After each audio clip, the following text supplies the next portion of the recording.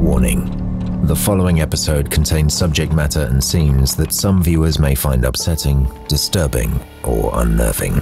Please note, viewer discretion is advised at all times. Sit back and enjoy.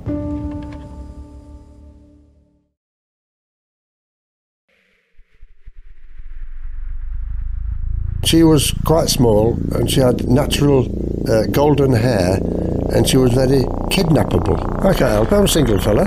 There's nothing wrong with it. You haven't broken any laws, have you? None whatsoever. The police currently have eight formal allegations against Sir Jimmy Savile, two of rape and six of indecent assault. But they say information is coming in all the time. Hospitals have rules with patients and things like that. Well, because I'm dyslexic when I want to be, I don't understand rules. very real, very sad story. The Metropolitan Police and the NSPCC painted a picture of abuse on an almost industrial scale. I have an enormous respect for people. First of all, I'm a rare breed insofar as I'm a single fella, uh, but my game was not to have one wife, to have a thousand. The BBC Director General George Entwistle apologised to victims of alleged sex abuse by Sir Jimmy Savile and promised to hold an internal inquiry after the police investigation. I never brought any harm to anybody, and I never thought there was a profit in in being bad. So I had a bit of fun at nobody's expense. I'm feared in every girls' school in this country. If I arrive at the gates of heaven and St. Peter says, You've been a very tricky man, you can't come in here, I'll break his thumbs.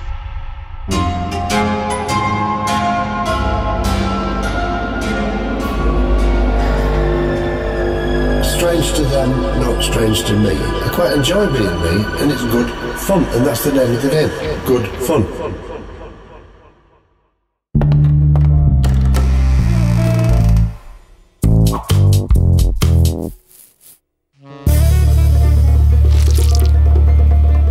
Hello and welcome back to I Could Murder a Podcast, episode number six. Traditionally, the finale of the series. Yes, it is, Um, Ben, but we're this time. No, no, no, no, no. Double up.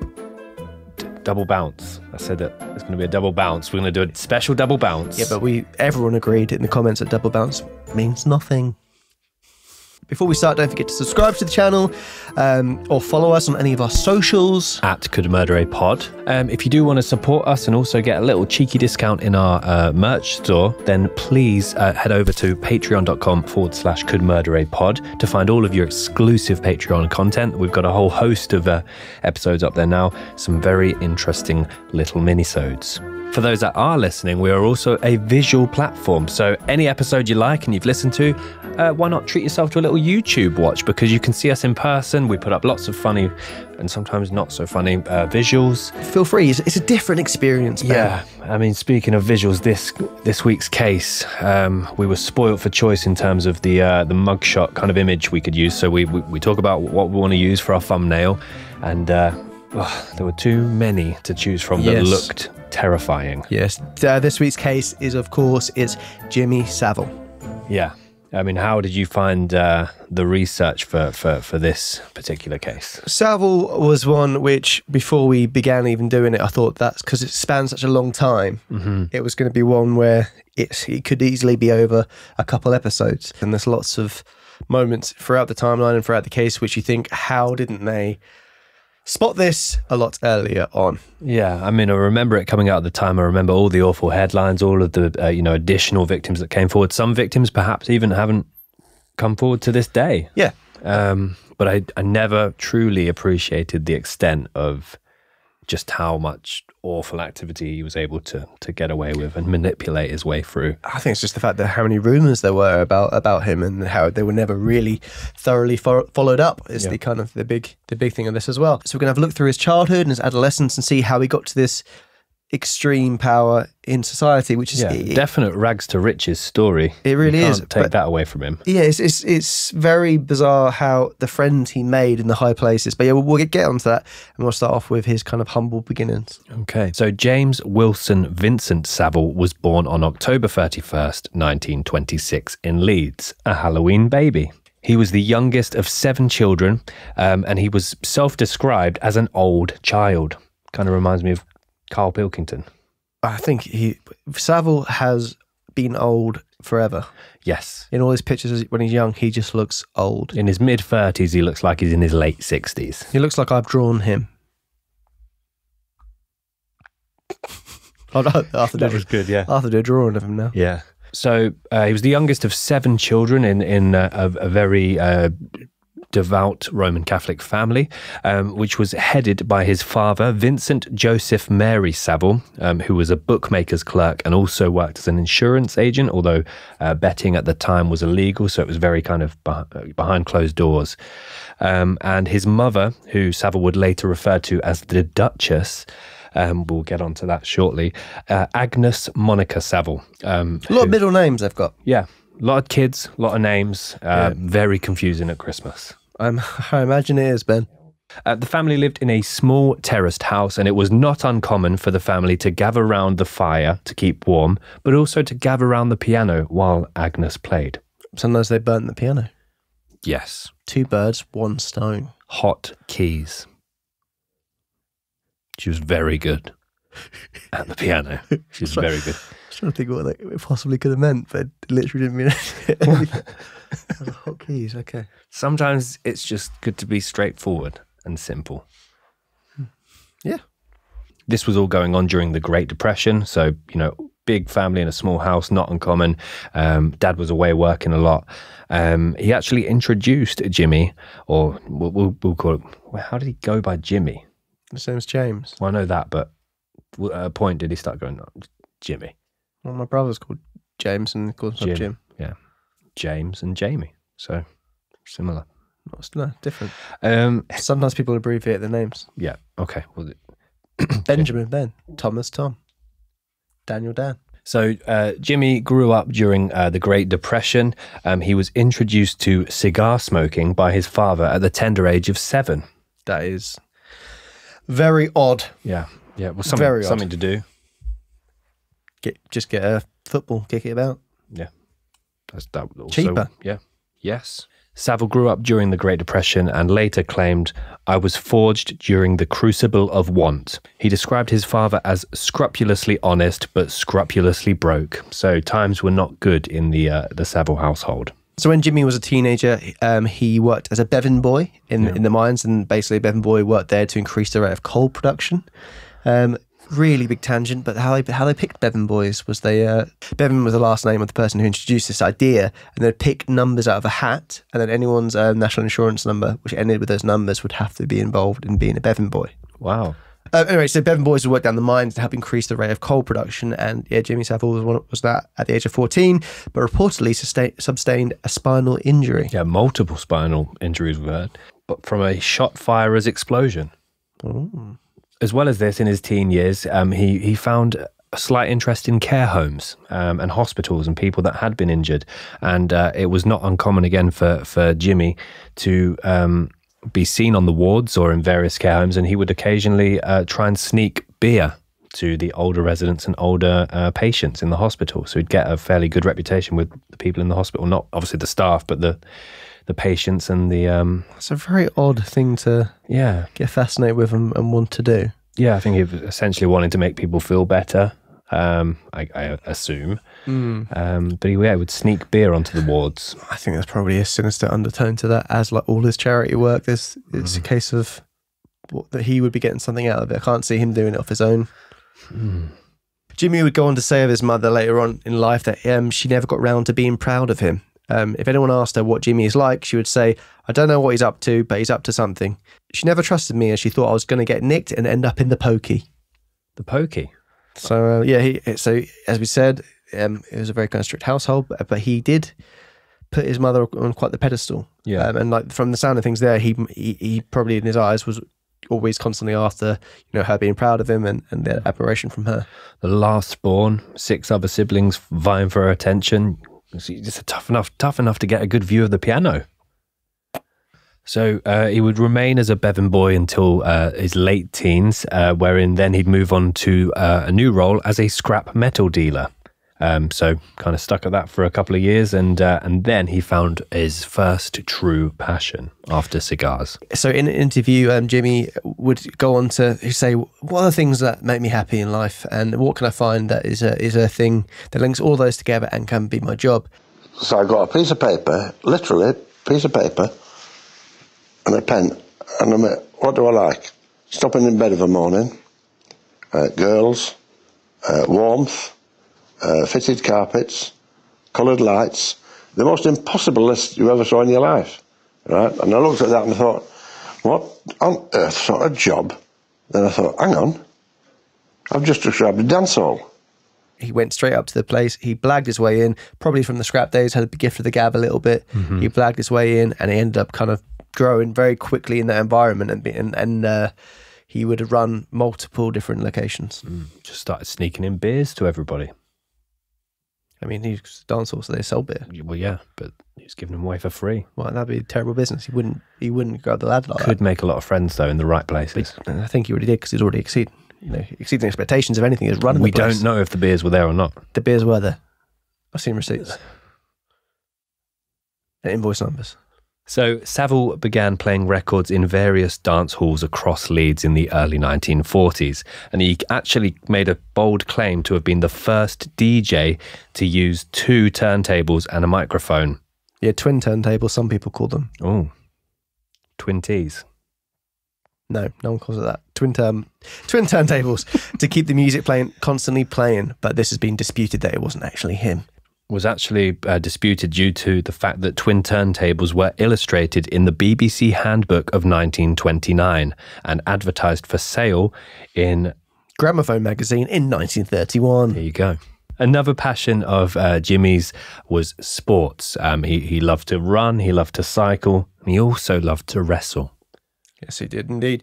Um, he was quite an up and coming, and the uh, the promoters backed him. They wanted him Yeah. to do well, and they would, they'd warn other wrestlers about him. They basically wanted them to get Jimmy over, lose to him, and kind of see him exceed.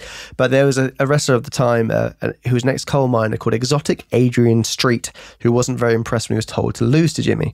And this is a direct quote from him, which is great. I kicked his legs from underneath him, so he hit the deck. Then I picked him up by his hair, held him upside down, and dropped him on in the skull. Then, well done to that man. then, when I looked down at my hands, I realised they were covered in hair, Savile's. I'd torn huge clumps out of his scalp. I absolutely crucified the bloke, and when I spoke to my wife afterwards, she said I looked like a hungry fox going after a chicken. Savile never returned to the wrestling ring again after that, and I never clapped eyes on him again. So Savile would later say uh, around his uh, uh, ventures into different sports, if you look at the athletics of it, I've done over 300 professional bike races, 212 marathons, and 107 pro fights. Um, he proudly announces that he lost all 35 of his first ones. No wrestler wanted to go back home and say they lost to a long haired disc jockey and put him down. So from start to finish, I got a good hiding. I've broken every bone in my body, and I love it. But the it's even with uh, we've seen him doing his mar- many marathon runs. He doesn't look like a guy, especially with his diet, because his diet was terrible as well. Yeah. And then again, in the interview I refer, referred to earlier, he talks about his kind of stuff he eats, which essentially was bread and dripping, pork pies, and he doesn't eat it. Don't like putting anything in my mouth that's too good for me. that was actually a good impression as well. That was very good. Yeah, Um, fucking chilled. and so he able to do so much sport and be good at it, especially how many cigars he was smoking since the age of seven. Yeah. And let alone what that piano smoke must have done to his lungs. Well, famously, he was on a treadmill while uh, Louis Theroux was interviewing him with a cigar in his mouth. So, whilst working in the dance halls in Ilford Mecca Dance Hall, uh, Savile was discovered by the music executive from Decca Records. Decca was down at the Mecca. Yeah, Decca down the Mecca Wow, there you go. with the twin Deckers. Was Savile in his speckers? Mm, what does that mean? Oh, he looked yeah. Yeah. quite good. Savile's first television role was a presenter of Tyne Tees television's music program Young at Heart, mm. which aired from May 1960. Although the show was black and white, he was quite a zany character, especially for the time. He would dye his hair Yeah. every week, even, Different colours. even though it was a black and white TV. Often turn up in some very interesting different attire. Yes, he, he, he on TV and with his with his style, he was very much you know trying to make himself a bit of a cartoon character. I don't know if that was a, he, he obviously Was wants it an attention thing? yeah, definitely. Yeah. He, we want to be remembered. It's, it's like I remember back in the day playing football. They'd say if you go for a trial, if you wear Larry boots, people would like remember you better with oh the kid with the pink boots. The crazier clothes he wore, the more memorable he was, and the more kind of uh, Different. yeah. And hidden in plain sight is a thing very much uh, that applies to him throughout his life as well. A lot of things he says and does, and he as if he's not hiding anything. Like he's he's trying to draw so much attention to him. Weirdly, people then just kind of turn a blind eye at things. So he would continue uh, to present uh, Young at Heart, and then in 1964 he would present the first edition of Top of the Pops. So Top of the Pops was a show um, uh, focused on music charts at the time, um, and they would have different top talents from throughout the world uh, perform on the show. Yes, and like a lot of it would go on to be kind of the hub of where presenters, presenters if presenters were on top of the pops or uh, appeared on there, usually went on to do quite big things. Jimmy Savile, yeah, the first person on it. In fact, he even presented the last top of the pops as well. Yeah. So while Savile was presenting the top of the pops, he would maintain the desire to kind of look a little bit different, look a little bit out there. Um, and again, to go back to your football trial, um, he, he was wanting to grow his career and move on to bigger and better things. So um, would be constantly trying to attract new and different bits of attention. Essentially peacocking. He always wear elaborate clothing, and that was, as we said, he's kind of like a living cartoon character, which. That in itself, you know, he, he was very larger than life, and he was even used to front a uh, public uh, information broadcast Nag yourself to remember this drill. Clunk the car door and click the seatbelt. Clunk, click every trip. which was promoting um, people using seatbelts, and that was very much kind of aimed towards children. They saw Savile as the guy who could uh, speak to the children in regards to kind of this message, which just shows how famous he was and how they, you know, a safe pair of hands for this um, promotion. So at the time, Savile's look was regarded as an eccentric adornment to British public life, which could be disputed there, I think. But he would often uh, be uh, cigar dawning um, and frequently was spoofed for his dress sense, which usually featured a tracksuit or a shell suit um, and gold jewelry, excessive gold jewelry. Um, he also had uh, his own range of uh, licensed fancy dress uh, costumes.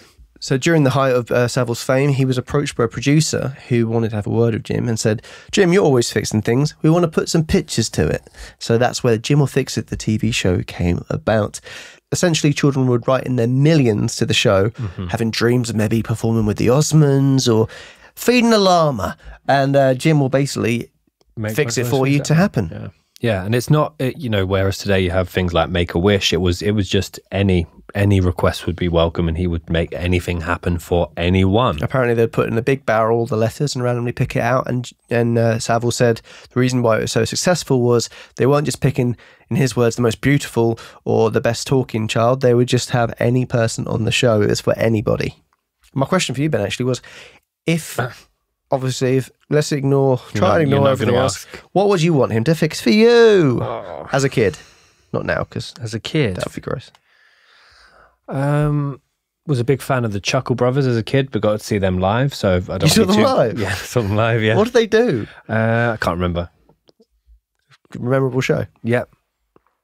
Uh, I got. I think it was either mine or my brother's birthday, so we got a shout out at the end. It was like pantomime type thing. To me, to you, to bed. Yep, that was. I think that was the. Probably was, wasn't it? It's all coming back to me now. To me too. That's it. Yeah, it's a good show. Good show. Um, if Jim could fix anything for me as a kid, oh, made it worse. He did sound worse when you said it. Weirdly. Uh, but what, what would you, was there any bands you liked? Do you want to go? Um, oh, I remember. Well, this is weird actually, but we're here. Um, do you remember? Um, You're a big fan of Gary Glitter growing up, weren't you? no, that's not. Okay. That's irrelevant. Um, and I wasn't. Um, do you remember? Um, unclear. do you remember um, Halle Berry's character from the Flintstones? yes, I do, yeah. Yeah. The the secretary. Yeah. Um, How old are you and, and what's this? really young. That's the that's my point. It was um, Flintstones by what? No. Dan, can you check what, what the uh, year of Flintstones was, please? hmm, Go, carry on. got me. Carry on the story. Well, just uh, would have been nice to have said, you know, for young me to go onto the set of the Flintstones and meet the cast. So you want them to reshoot it because you've seen the film. Yeah, it's You- been out for years. Well, I don't know what year it came out. 94. In. 94. 94. Okay, No, that's it was five. so. Your five-year-old Ben wanted to go on the go on the set. Go on the set To with ogle- Halle Berry. to ogle Halle Berry, Yeah, five. That seems. Maybe I saw it a few years after it came out. Even then, that's not okay. Mm, yeah, I feel uncomfortable. So thank you. Um. It, so yeah, no, Jim couldn't fix what was already broken. So that show would be one of the you know the main draws, the main events. He was becoming the one of the biggest stars. It's hard to kind of think of anyone nowadays. It's like Ant and Dec times ten. He, he was so well known. yeah, Um, twenty of them. Yeah. With his rise in fame, he would also do a lot of charity work for particular charities. It always seemed to be the char- charities which were the most well known. So you could get kind of, it seemed to be a bit of a play to get more celebrity and more um, recognition for doing it. Yeah. At the same time, whilst doing all of this for these charities, he still wanted something back for himself. I guess in terms of this, uh, you know, this rise in his uh, his his celebrity stardom, but also uh, in in the um, you know behind the scenes, he was making friends in very high places. Yes, I mean, jumping forward, he would go on to set up a couple of his own charities, the Jimmy Savile Stoke Mandeville Hospital Trust in 1981, and also the Leeds-based Jimmy Savile Charitable Trust in 1984. Raised millions. Absolutely. Was it? How much was it in total? Forty odd. I think 30 million it was, Ben. That's that's a lot of money. That is a lot of money. I don't remember too much of him as a kid. Like I don't remember watching any of Jim. I was too busy watching the Flintstones. I don't think it was on when we were kids. Yeah, I don't remember any of that. The first time I really because became it wasn't on. So I don't, I don't remember the war. Um, no, so yeah, so for me, the first time I really watched anything that he was on, it was when Louis Theroux interviewed him. Made the, the when Louis met. Yeah, so actually, uh, my mum got a Jimmy Savile autograph when she was younger, uh, a little girl, and uh, she remembers being in the car. Um, I think that it had backward facing kind of uh, seats, or she's looking over the back seat. Jimmy was driving in his Bentley behind them, and she, he was waving at her. Very eerie. She went on to sell the uh, autograph after everything came out. Yeah, Um, I can't remember how much it was for, but yeah, it was very, uh, dis, very, dis, yeah, horrible thought. So while Jimmy's stock is rising and um, he's doing a lot of charity work, um, he's on you know two or three different shows at the same time.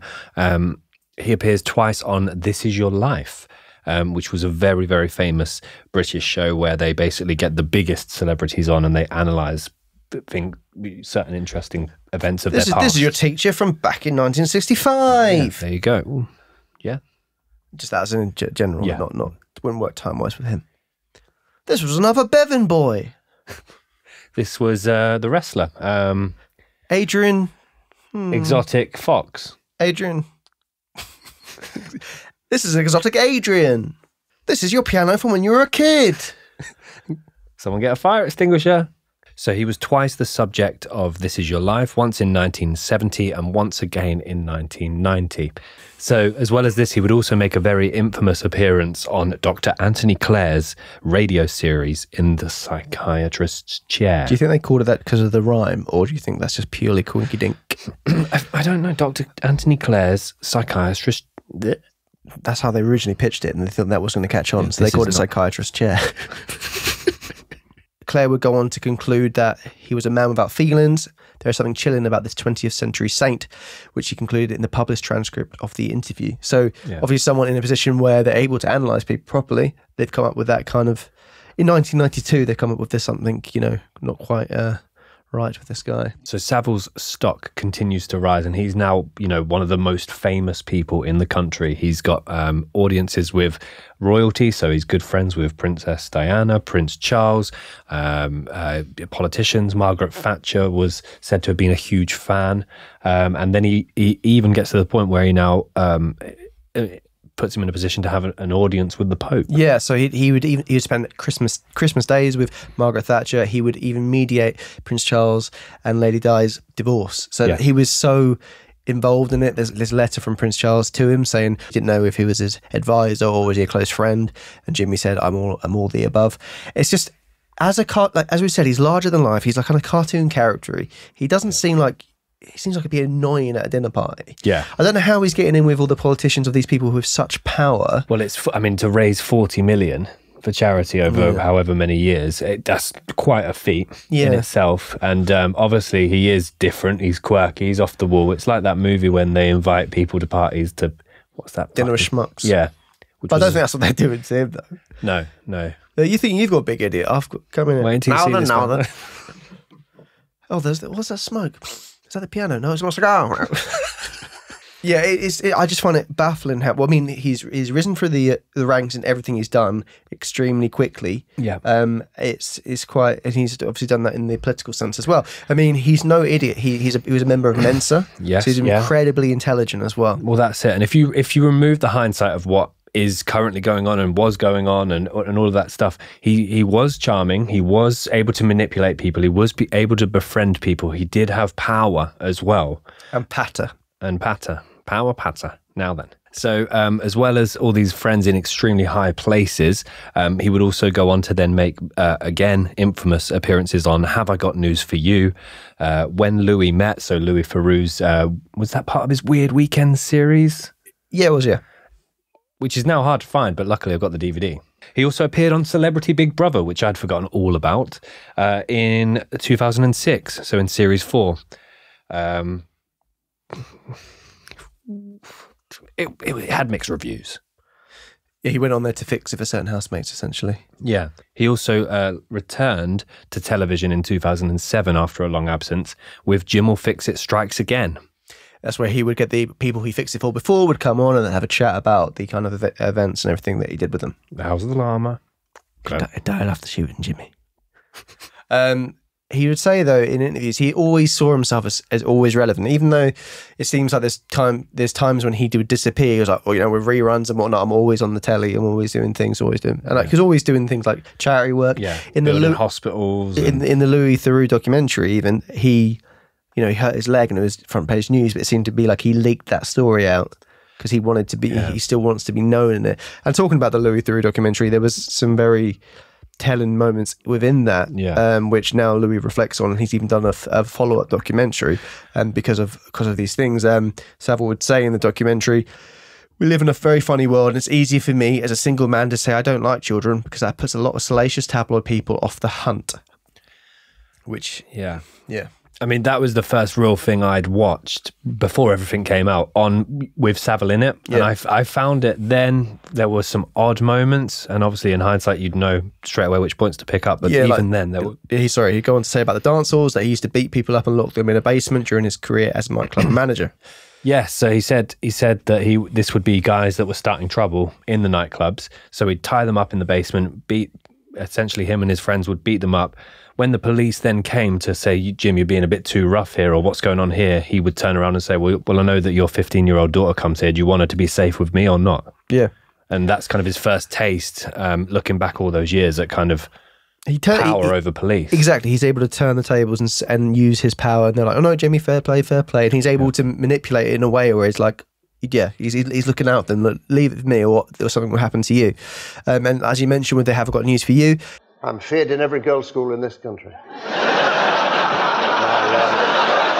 So after he makes this comment on "Have I got news for you?" There's there's laughter you hear immediately, and to people who are just watching it casually, they'll think, "Oh, that, that's the crowd laughing," but it's definitely canned laughter. Um, And also, you can see from the faces of the other people on the panel that they're very stony faced. It kind of goes on to you, start thinking maybe you know because a lot of people did hear rumors about Jimmy, so maybe they'd heard things themselves, um, but you can see from the faces they weren't willing to laugh at that joke. Yeah. He's also uh, a a life member of the British Gypsy Council, um, uh, becoming the first outsider to have been made a member in their history. following on from him, you know, doing all this charity work and, and helping build hospitals and whatnot, he was awarded the OBE in 1971 and was knighted in 1990. He was very much within in with the royals with Charles and Princess Diana, and um, you know they gave him these uh, accolades, which to the public, you know, he's you know the famous guy from TV who's done all these great things. It, it was seen as you know, it makes a lot of sense him being given these uh, accolades. So at this point, uh, we're going to go into the timeline. Um, as Tom mentioned at the start of the episode, it's you know it's, it's spanning fifty years.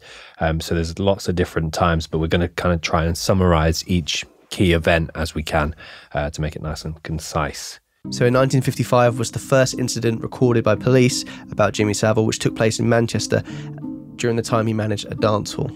So in 1960, in one of a handful of example cases given by the police, a 10 year old boy asked Savile for his autograph outside of a hotel he was staying in. Savile took the young boy inside and sexually assaulted him.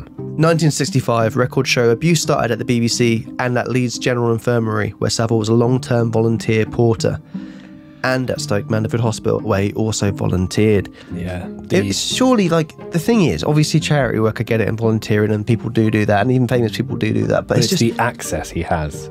it's just bizarre that like a, you know volunteering to be a porter and left to your own devices that kind of thing obviously would, would never kind of happen today but yeah like you said it's, he's he's he's been in these places where they're very vulnerable people i mean Yeah. uh, at this stage 1965 a lot of stories haven't emerged about Yeah. him so they're just thinking oh this is a very nice celebrity that wants to do these nice things but Yeah. when you look back on it it just starts yeah Yeah, and I mean, as part of this, I, I read some of the official NHS investigation transcripts into these incidents, and what he would do is he'd be known as the man with the white hair or the man with the silver hair because he would constantly be changing it. But he'd essentially be walking around the hospital in full kind of doctor's gowns. scrubs But I can't think of few more terrifying sights than Jimmy Savile in a doctor's gown. Well, I can. I can think of one more horrific sight than that, but even then, what's that one it was without the gown. 1966, this was the start of what police have identified as Savile's peak period for abuse. So, to even have enough of a period to peak, um, which lasted a decade. Allegations include abusing young patients at Stoke Mandeville Hospital, molesting a brain damaged girl at Leeds General Infirmary, and assaulting a 12 year old boy at a Leeds children's home. So in 1970, records show Savile started to abuse girls at Duncroft Girls' School, which was a school for intelligent but emotionally disturbed girls. He was a regular visitor there and he would go on to abuse a lot of the students there. Yeah, so a lot of the students that were there at the time would be in the second uh, Louis Theroux documentary on Savile and some a lot of the other documentaries as well that we saw. And essentially, he would start to kind of uh, uh, turn up in his Rolls Royce, um, offer to help out on the ground site as kind of the handyman that he was, and then he would pick a couple of girls to go out with him and go for a drive. So according to one of the victims, he would take them out, it would be a treat day, but then he would go on to lose control of his hands with the, uh, the underage girls in the car. So in 1972, in another example of Savile's offences, police uh, have listed he is recorded as groping a 12 year old boy and his two female friends who were all in attendance of a filming of Top of the Pops. And I mean, there are various bits of footage uh, from his Top of the Pops days where you can see him in a crowd because what they like to do is kind of uh, zoom in or zoom out on the presenters in with the audience while music was playing. But there are a couple of really horrible clips where you can see like girls either like kind of jump up that is what you can't see where Savile's hands are, and um, and uh, it- apparently it wasn't you know just females that he was um, Groping. uh, groping. So in the 1980s, a female victim is believed to have told the Metropolitan Police she was assaulted in Savile's camper van in a BBC car park. The police file cannot be located and the investigating officer is now dead. Yeah, and he'd make reference to this camper van that he had, but also a caravan that he had in Scarborough, so he wouldn't offend his mother, who lived in Scarborough, the Duchess, by bringing uh, women or girls um, to her house in Scarborough. So instead, he would kind of brag uh, in in the episode with Louis that he's got a caravan and that that's the love shack. Yeah, the way he, said about his mum was he wouldn't bring girls back then. It wasn't a case of his mum. Um, it wasn't the case of his mum being controlling or not wanting him to find a partner. He, he very much painted it as the way she didn't want to lose her cushy life. She's like she didn't want him to bring back one of these girls and then him like kick her out of the house. Yeah. So he would keep it very separate. His keep any kind of girl he was in his in his mind seeing, and uh, his, then the Duchess completely separate. So yeah, for for a multimillionaire to have a caravan and a camper van, obviously not the most. Um, imagine if you were of age and Savile had seduced you, and you were female or male. Apparently, he liked. Um, How did you manage to trip yourself up in such a way there? Go on. uh, you know, if he if if a, a very famous, you know, one of arguably the most famous celebrities in the country wooed you, brought you back, and then all of a sudden it's a caravan or a camper van. It's not the illusion I was really had in mind, Jimmy. Well, none of it was. Point is, God, I'd expect I, him- I want to know the point. I would expect him to have some sort of mansion. And even his house in the Louis Theroux uh, documentary is a shithole. he hasn't got a cooker. Yeah, and we'll put in a little weird quote he said about cookers just here. I've got five places to live in, in England, and not one of them have an oven. Because an oven means cooking, cooking means a lady, a lady means staying longer than two hours, and that would never do for me because I am a travelling pirate, right? And when all their various fathers, brothers, boyfriends, husbands come looking for me with a sawn-off shotgun, a diesel drip, and that's where I was. So, no cookers. Cookers is the first step towards brain damage. I've always tried to avoid putting anything in my mouth that's supposed to do me good. His whole relationship with with, women, and he he'd go on to say because it, he he appeared to me at first as someone who's very just asexual. He he didn't he seemed to be exactly what he wanted to be perceived as. I imagine. Yeah. a, a bigger than bigger than life character, a bit of a cartoon. There's also um, a lot of reports about his brother Johnny Savile, who who was his older brother, who worked in Springfield Hospital as a recreation officer. There were reports of um, sexual abuse and rape, um, and he also would play on the fact that he knew his brother was a celebrity and Yeah. he used that to try and woo women. But fame. yeah, he, he was uh, accused of a lot of similar things as Jimmy was. And talking about the caravan, you said he mentioned about where he would, that's where he would take women. In his autobiography, he claimed he had many sexual relations with women. He said there have been trains, and with apologies to the hit parade, boats and planes. I'm a member of the forty thousand foot club, and bushes and fields, corridors, doorways, floors, chairs, slag heaps, desks, and probably everything except the celebrated chandelier and ironing board. 1988, Savile is appointed chairman of a task force set up to advise on governing the secure hospital Broadmoor, which, again, is He's a fucking DJ. I don't get it. It's like, other than that, what's he done? He's done a few marathons. Why is he being hundreds of marathons, Okay. actually, Tom. Oh, sorry, standing up for Jimmy Savile. That's weird. But why, why, why is he qualified to be put in this position of power? Mm-hmm. What he's not trained in aftercare or and how to deal with criminals or deal with anyone who's in that situation or to deal with anyone at Broadmoor. So why has he been put in there to, to advise? It Yeah, makes so, so Broadmoor, for those that don't know, this is a secure hospital that uh, has traditionally housed some of the UK's most dangerous, uh, Bronson. criminally criminally insane Yeah. uh, uh, offenders. Uh, Bronson, the Yorkshire Ripper. Yeah, I mean Savile. there- There's a well, we put a picture on Instagram up of Yeah. uh, Savile uh, introducing Frank Bruno to. Uh, Uh, Peter Sutcliffe, Yeah. the Yorkshire Ripper, and So it was all a big joke. but what? I just don't understand why they're thinking that. Who who can we get on this? Let's get Savile on. And it. not just in on the task force, the bloody chairman of the task force. yeah. So bizarre. So apparently in this as well, he's given room and board alongside the hospital, so he can just basically live on the, the Broadmoor site and keys to various wings of the hospital. So he could either bring a girl back to either his camper van or Broadmoor. And now the camper van is starting to look bloody lovely. In 1990, Savile is knighted and also receives a papal knighthood from the Pope. Additional allegations come forward this year, including at least two complaints to police by women who were teenagers at the time. So that's the thing with, with, with Savile. A lot of these cases, you think, oh, why didn't the police just do this, or why didn't this come forward, and why didn't they um, lead to any prosecutions? You have to think who he had on his side here. He had the Pope, he had Margaret Thatcher, he had Princess Di, he had Prince Charles. He had quite the character witnesses there who, you know, thought very highly of him. So, it, and he's raised millions upon millions for charity. It, it, it's like it's very it's a very hard thing to unpick in terms of Yeah. because people will, will either don't want to believe you or they're just gonna sh- shut you up. It's Uh, going back to that like hidden in plain sight. yeah, Um, it, it, it's too obvious to have possibly been. yeah. Like I've, I've heard some American com- comedians saying before, look at him. he's obvious. He's obviously a nonce. But yeah, if you look at him, he looks like the kind of the godfather of paedophiles. Um, so, 26th of July 2006, Savile co presents the final Top of the Pops, an occasion that gave rise to one of the allegations made to the police. It's in May 2007. Surrey police question Savile over allegations of child sex abuse in the 1970s. Uh, the matter is referred to the Crown Prosecution Service, which advises that there is insufficient evidence to take further action.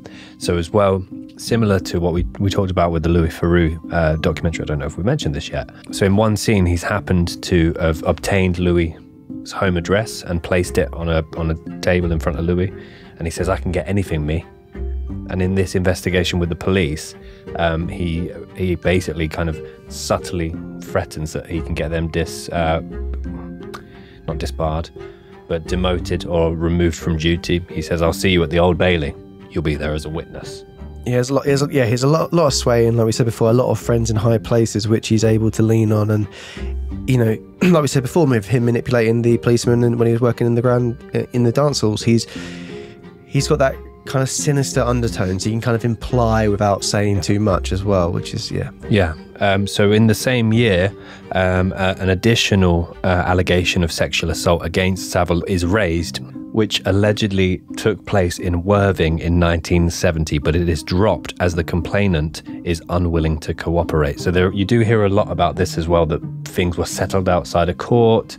Um, It's intimidation as well. Like I said, a lot of these people uh, uh, have been in hospitals or have been in Broadmoor uh, or have gone to schools for allegedly for, for difficult children. It's kind of the case studies where it's, it's the kind of cases where people may not believe the victims, which is horrible. But like that, he's picked, he's handpicked the most vulnerable people whose stories are most likely not to be believed. Savile is also named during a 2008 police investigation into abuse at Haut de la Garenne Children's Home in Jersey. So, in March 2008, Savile begins legal proceedings against a newspaper that linked him to abuse at the Jersey's children's home.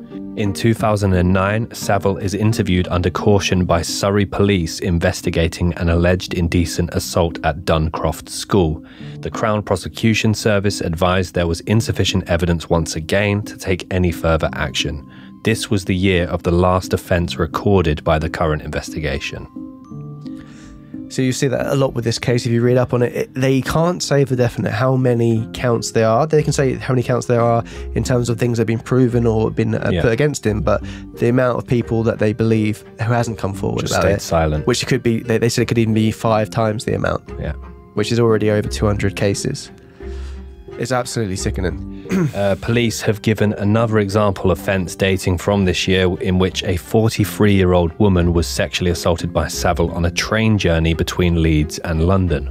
The 29th of October, Jimmy Savile dies. Jimmy Savile is found dead at his home in the Roundhay district of Leeds.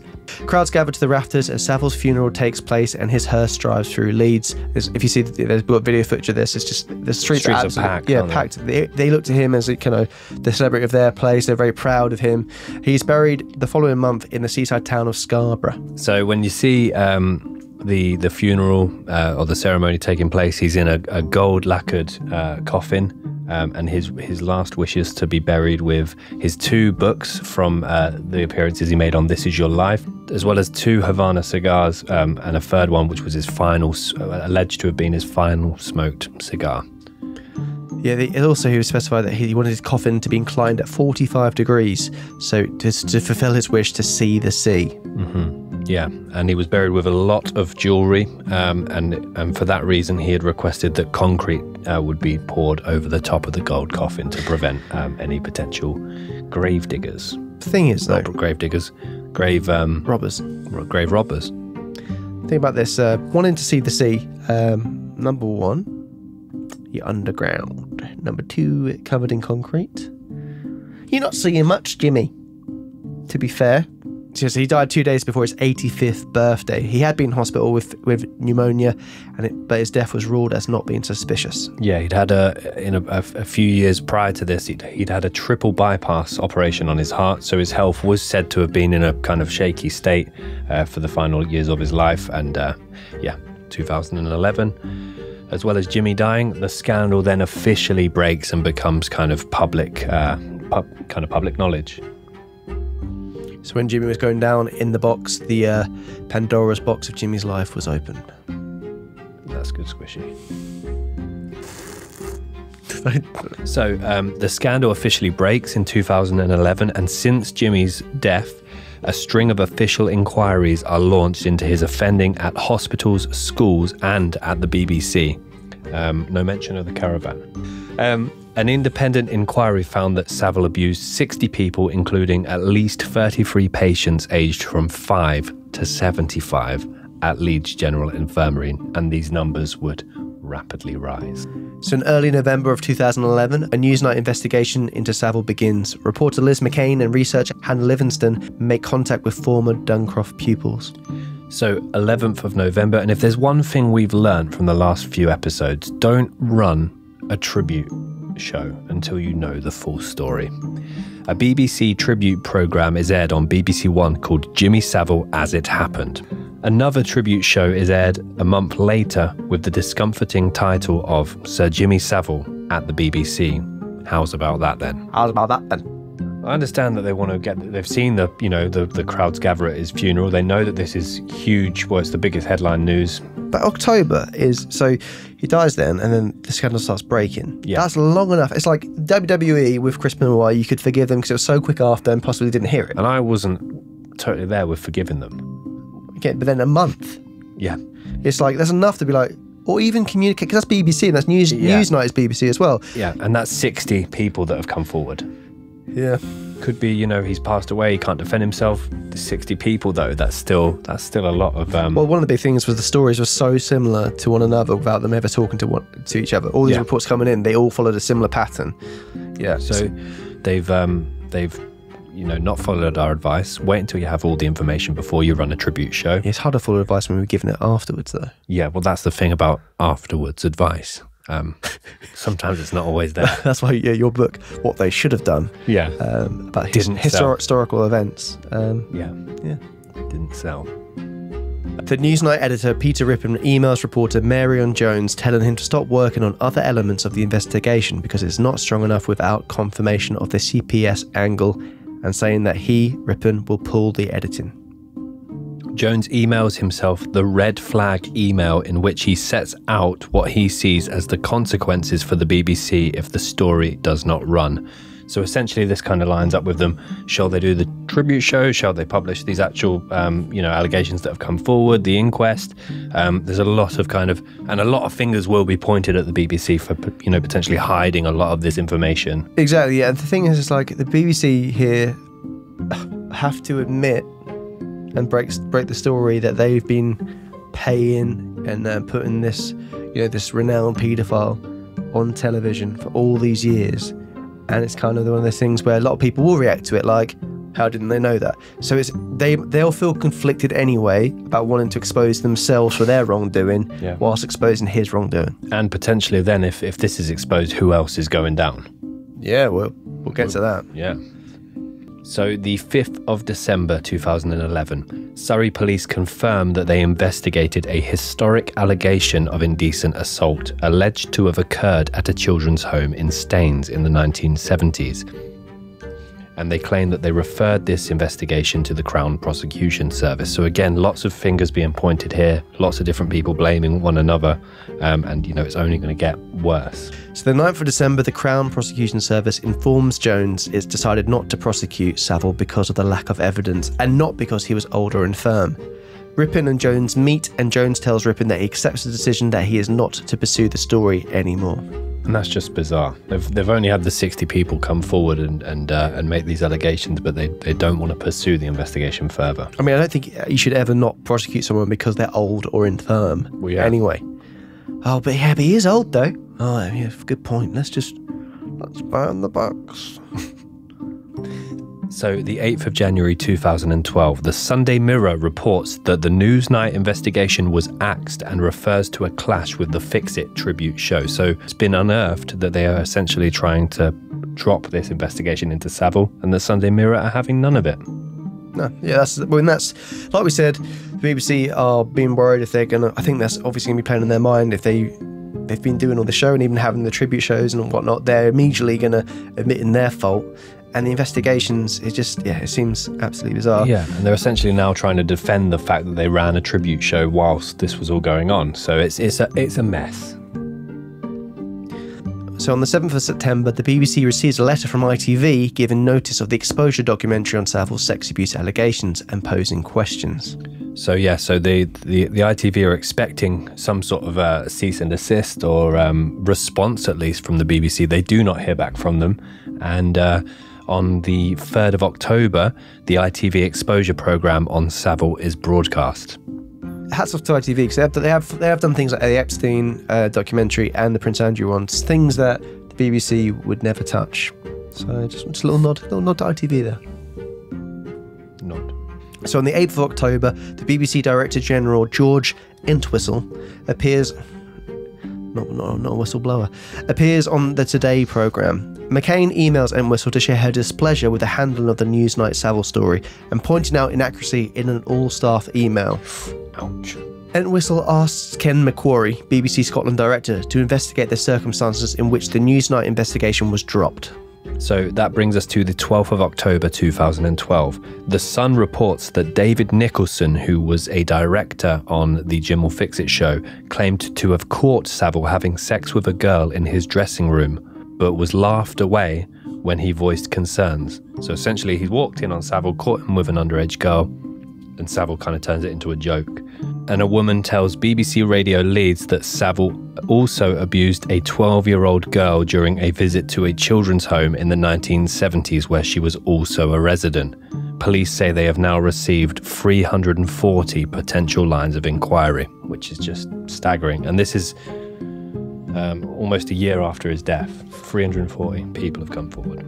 So the 13th of October 2012, so Pace is now gathering on all the people coming forward uh, with with different accusations on Savile. And again, like Tom said, a, a nod to ITV because they've kind of snowballed this now. So the Department of Health says it will investigate the appointment of Savile in 1988 as a chairman of a task force to advise on governing at Broadmoor. Meanwhile, police say allegations are likely to span six decades from 1959 to 2006, which that in itself, some people don't even live that long. Commander Peter Spindler says he estimates the number of likely victims to be about 60. 12 complaints of sexual offences have been made public to the police, and 14 task forces are involved. Yeah, in 2012 as well, Richard Harrison, a long serving psychiatric nurse at Broadmoor Hospital, said that Savile had long been regarded by staff as a man with a severe personality disorder and a liking for children. Another nurse, Bob Allen, considered Savile to be a psychopath, stating a lot of a lot of the staff said he should be behind bars. Um, and they, they had reported him to authorities beforehand for his his con- his conduct with people, but again, it was ignored. I mean, the people who are trained in Yeah. within this are saying what what they believe him to be, though he was still in a situation situation of power over them. So, the 22nd of October 2012, a panorama special is aired on the BBC based on the Savile allegations. So, finally, they decide that, you know what, ITV have kind of called us out here. We're going to, we're Yeah. gonna, this is our response. Yes, they've been backed into a corner. It feels it's not a case of they were going to do it anyway. Yeah. They had to do it. The 23rd of October, Entwistle appears before the Commons Culture, Media and Sports Select Committee. At a very similar time, the BBC asks Dame Janet Smith to investigate the culture and practices of all at the BBC in the decades that Savile worked there. Former pop star Gary Glitter is the first person to be arrested in connection with the police investigation into the Jimmy Savile abuse claims. Glitter, whose real name is Paul Gadd, That's disappointing. is released on bail until mid December after being questioned at a London police station. It also emerges that Savile's former house in the Scottish Highlands has been vandalised and painted with abusive slogans. Yeah, so the thing about Gary Glitter, there's a really eye-opening interview with uh, with Savile two years before Savile died on on um, Gary Glitter because I think before this particular date, accusations had come out about Gary in um, Thailand? Thailand or Cambodia or somewhere in the in kind of Southeast Asia. Um, and it's really uncomfortable listening because Savile is talking about Gary as if, oh, it's just harmless. It's just a few things on his hard drive. Well, when you see there's there's that famous footage of, of Gary Glitter on a show with Jimmy Savile. Yeah. And They Oh, both sit between young girls with the arms around them, and they, they look like they look like kids in a candy store. It's horrible. Yeah, and the girls look absolutely terrified. Um, but we'll play a little bit of uh, of this audio uh, when Savile was questioned about uh, Gary Glitter because it is disturbing. All he did was to take his computer into PC World to get it repaired. And they went into the hard drive, saw all these dodgy pictures, uh, and told the police. And the police then, oh, we've got a famous person. Oh my goodness, yeah, we'll have them. But not sold them, not tried to sell them, not tried to show them in public or anything like that. It would, it would for his own gratification, whether it was right or wrong. Uh, uh, is, is of course it's up to him as a person. But but they didn't do anything wrong, but they are then demonised. Uh, and of course, said to a couple, of what's Gary Glitter done wrong? They well, nothing really. They just sat at home watching these dodgy, dodgy films. So, the 1st of November 2012, Freddie Starr is arrested. So, entertainer Freddie Starr is arrested in the police inquiry into sex abuse claims against Jimmy Savile. Um, he denied claims that he groped a girl of the age of 14 while in a room with Savile. Meanwhile, it is announced that the review into Newsnight's dropping of an investigation into Savile will be reported later in the year. So 10th of November, Entwistle resigns as Director General of the BBC. So, the 12th of December 2012, police state that the number of potential abuse victims um, at the hands of the late Jimmy Savile has reached 450, which is just absolutely staggering. Officers from Operation Yewtree, which is part of the investigation into the offences, say that they have recorded 199 crimes allegedly committed by Savile in 17 police force areas. The investigation is also looking into sexual offences allegedly committed by others, and Commander Peter Spindler says that a total of 589 alleged victims have now come forward. So as we said earlier, this this is people that have come forward. A lot of people obviously don't come forward and, and you know are still terrified of them and Yeah. don't come forward. A so, lot of people still haven't come forward as well. Yeah, exactly. So now. so these these numbers are people who have come forward. So the numbers they you know they predicted are much much higher than that. Um, the other thing about Operation Yewtree, I was like, what's the reason for the name? But it's just a completely random word they picked because it's completely unassociated to anything. You, is it? You tree. Because now it holds such a kind of weight to that phrase, doesn't it? Yeah. Do you reckon? Do you reckon they pick yew tree because it's not really a common tree as well? Hmm. Because imagine if it was called like chestnut tree. I imagine the sales of chestnut trees would go down. Such a, at such a point does not matter whatsoever. But um, I don't know who's buying chestnut trees. To be fair, just Wow. just pick up a conker. I've always said that. Um, anyway, should we get on with the case? Let's do it. So in 2013, the 11th of January, Scotland Yard labels Savile as a prolific predatory sex offender after its investigation reveals 214 criminal offences across 28 police forces between 1955 and 2009. Its report, giving victims a voice, found that 73% of his victims were children and that the allegations of abuse spanned 14 medical establishments. A report is published detailing abuse by Jimmy Savile spanning five decades.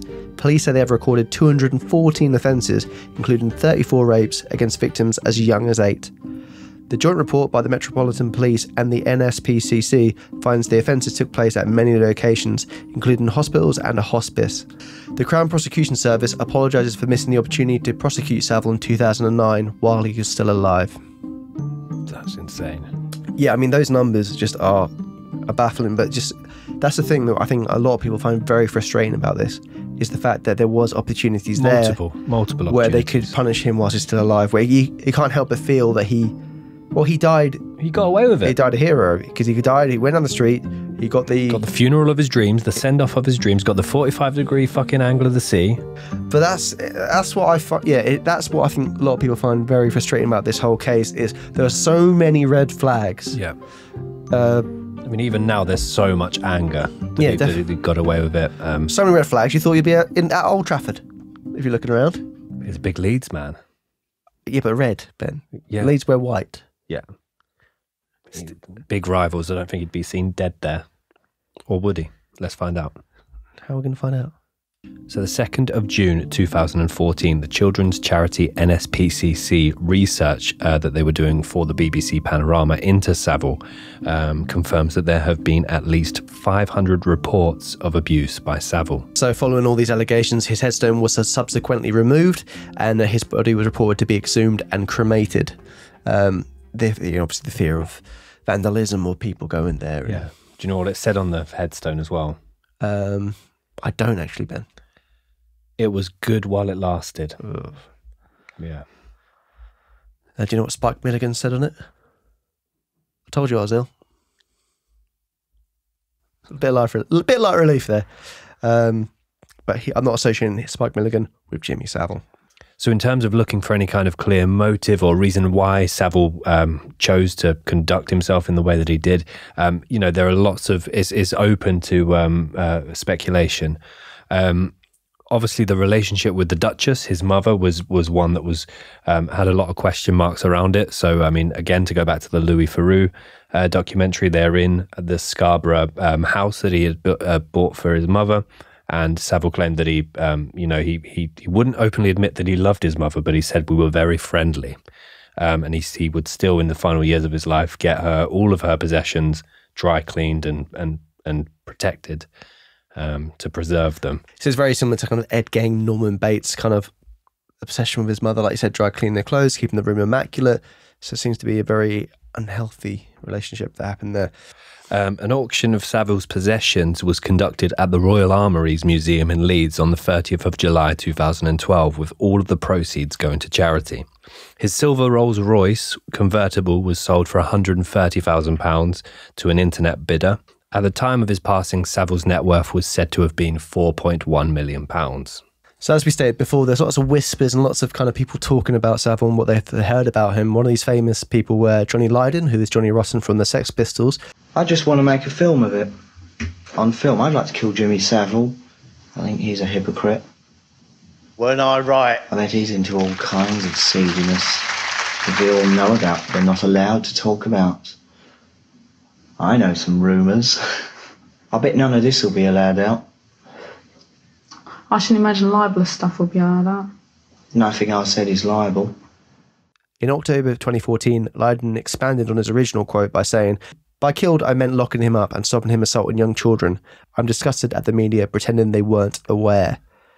So, yeah, it just goes to show that, I mean, there's clear whispers and, and, you know, the BBC have gone on to kind of not not air anything he did again, he's done again, and he top of the pops, don't ever do any repeats, similar to Chris Benoit.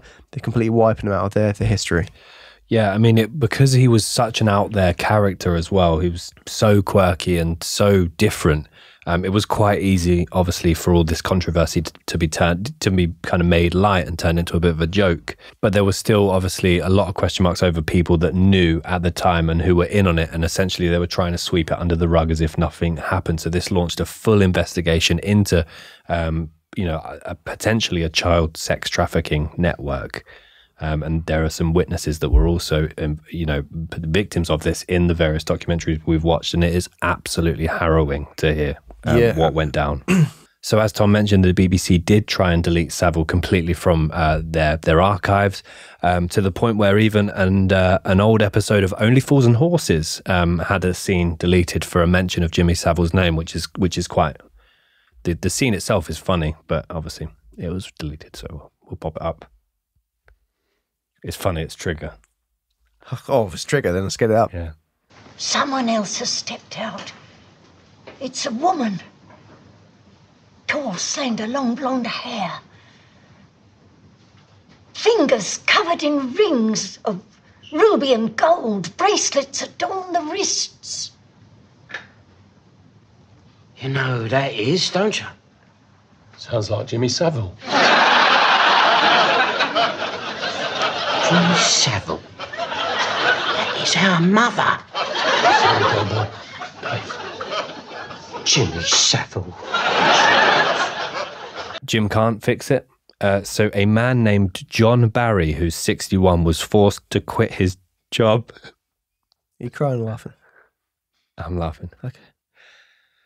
So a man named John Barry, who was 61, was forced to quit his job as a Jimmy Savile lookalike after the sex abuse scandal about the deceased DJ emerged. So I remember at the time that the scandal broke, um, there's a Wetherspoons pub uh, in the uh, city centre of Cambridge, where me and Tom are both from, um, and it's called the Regal. And basically, everyone goes there at the kind of end of the night or the beginning of the night. In any case, all I heard one night, this is going back, what, what, 2011, so going back 10 years.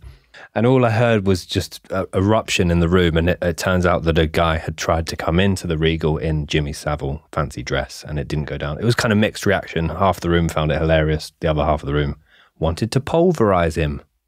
Um, so, uh, one of the stars of the recent Netflix hit series, The Tiger King, uh, Carole Baskin, uh, was tricked into uh, performing a cameo video wishing all the best to her huge fans, Rolf Harris and Jimmy Savile.